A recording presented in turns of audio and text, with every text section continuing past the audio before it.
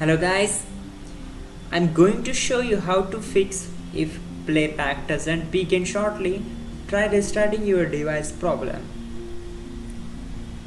So firstly you have to open Google Chrome browser.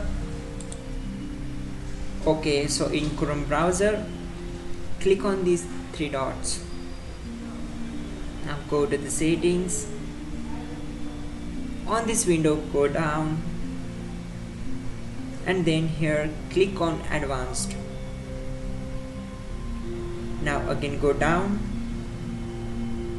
and search for use hardware acceleration when available. Now turn off it and click on relaunched. That's it sir. If this video helps you then you can help me by subscribing our channel. Thank you